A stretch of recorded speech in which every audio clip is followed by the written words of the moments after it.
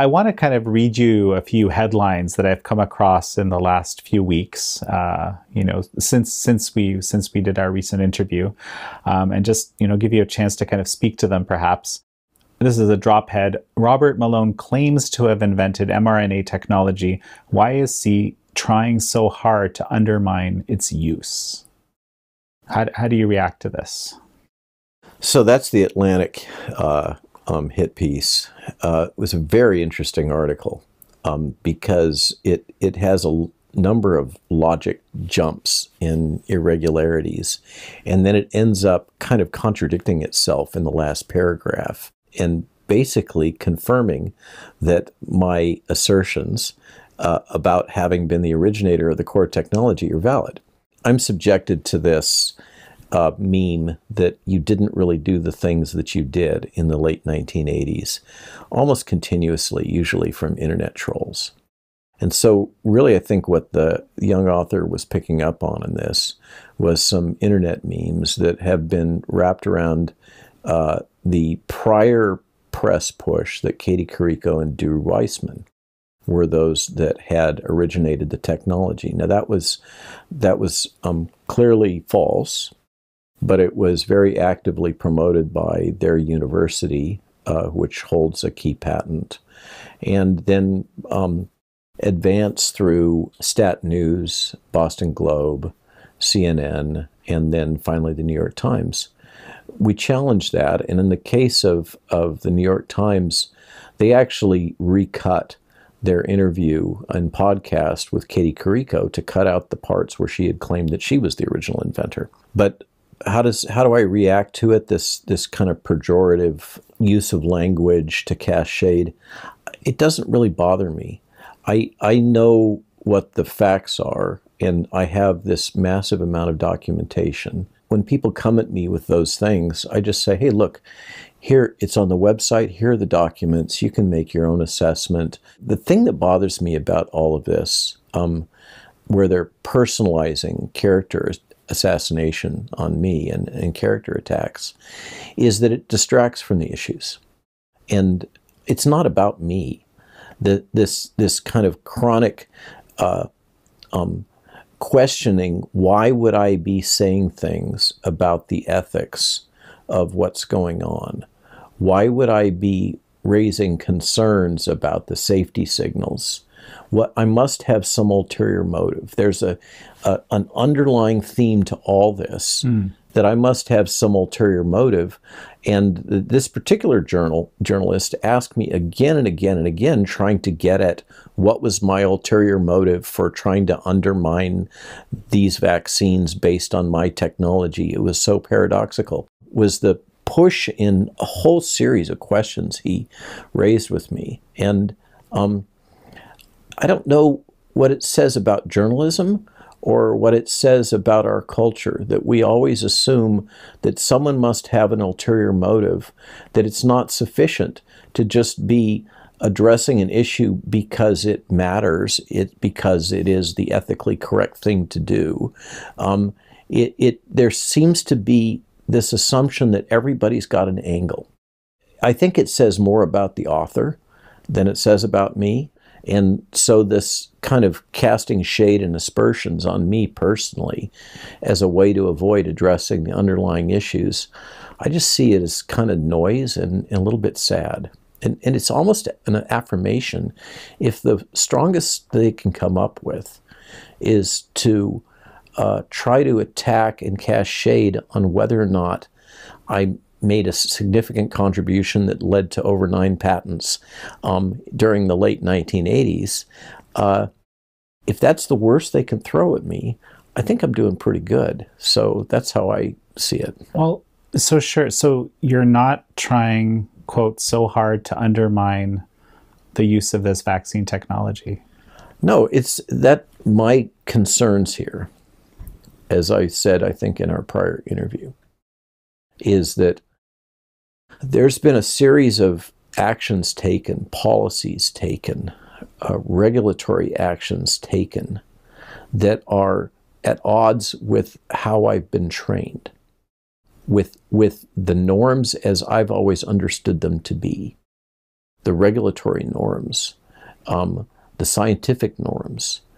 These things have been waived, and I, it. I think for a lot of people, it doesn't make sense. And what recall reeling back, what triggered this was this um, amazing podcast uh, with Bret Weinstein and, and Steve Kirsch, where um, I don't think at that point in time the world had really heard anyone questioning the underlying safety data, assumptions, um, and ethics of what was being done. There was a widespread sense of unease that these mandates and uh, forced, you know, efforts to force vaccination and uh, expedite the licensure of this and bring it and deploy it globally on the basis of uh, very abbreviated clinical trials. Uh, there was a widespread sense of uneasiness, but people didn't really have language to express it. And when that podcast happened, for some reason, it catalyzed global interest um, in a way that I didn't expect. That I still have people writing me. I just saw the Bret Weinstein Dark Horse podcast. Something happened there where where events came together, and uh, I expressed some things that I had just been observing that I felt anomalous in how the government was managing the situation and the nature of the vaccines and the testing of the vaccines and uh, the ethics of how they were being deployed and forced on, on children and other things in various countries, including the United States. And um, that, that kind of triggered a whole cascade. But it wasn't because I have concerns about the technology or I'm casting shade on the technology. I've repeatedly made it clear that, in my opinion, these vaccines have saved lives. I get challenged on it all the time, by the way. There's there's a whole cohort that says, "Oh no, these aren't worth anything, and uh, they shouldn't be used at all, and they're not effective." In my opinion, they've saved a lot of lives, and they're very appropriate at this point in time. The risk benefit um, favors administration of these vaccines with even with all we've learned since that in these few months since favors their administration to the elderly and the high risk popul- populations. So, as opposed, you know, contrary to this this thread of of I'm trying to denigrate these and tear them down, no, I'm trying to say I'm all in favor, strongly in favor, of ethical development deployment of vaccines that are safe, pure, effective, non adulterated. And uh, I'm really strongly dug in that we need to confront the data as they are, not um, uh, try to cover stuff up or hide risks or or avoid confronting risks.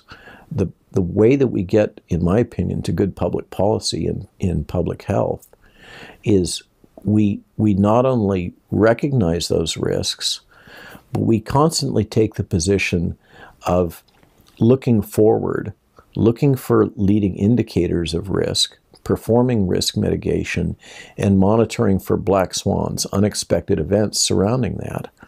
That's that's where I come from is continuing really strongly believing that the norms that have been developed over the last 30, 40 years in vaccinology should be maintained. We shouldn't jettison them just because we're having a crisis why don't we do kind of a review? There's been a number of very significant papers in my mind in the last week or two that have come out on with very robust data sets telling us uh, again to my less educated eye um, some very valuable information. And you know if you agree maybe you can kind of review some of this for us. I know i know you've been you know studying every one of these in in some detail the uh, emergence of the Delta variant, whether, you know, originally in India and then subsequently in the UK and then spread to Israel, has really thrown the public health enterprise globally and, and in these other countries back. because there were assumptions made about the effectiveness of the current vaccines and their ability to contain the outbreak.